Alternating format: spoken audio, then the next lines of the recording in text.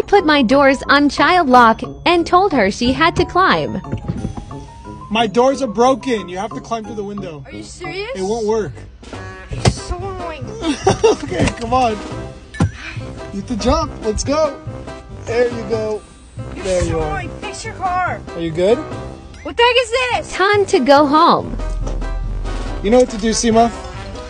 Get out the car. Yep, throw the backpack out. Oh, Seema, you know you could have just opened the door, right? Bruh.